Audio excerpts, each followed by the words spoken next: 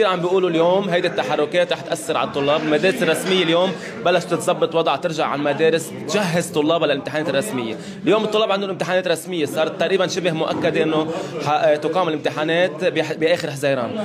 بالنسبة لطلاب المدارس الخاصة هل هالشيء رح يهدد امتحاناتهم أول الرسمية؟ شيء بدي أقول بالمدارس الخاصة تقريبا برامج الشهادات تقريبا خلص. أنا أستاذ ش- آه، شهادات تيرمينال أنا أربع صفوف بعلم. تقريبا خلصنا. أه ولا نحن ضالين بالشهادة وبالعكس. نحن كثانين وزارة التربية ما تشيل من المنهج اللي إحنا علمناه. نحن علمنا البرنامج تقريبا خلصنا. وبالتالي موضوع الشهادة ما في خطر على ابدا. بس أه برجع وبقول نحن مش عم ندعي للإضراب. نحن عم نقول في قسم من المعلمين صاروا عاجزين يروحوا على مدارسهم. تفضلوا أعطوهم مقومات الحد الأدنى لنكفي هم الأهالي العام الدراسي بأقل خسائر ممكنة. وبرجع بأكد معلمين المدارس الخاصه حريصين على الشهادة الرسمية أكثر من أصحاب المدارس وأكثر من وزارة التربية.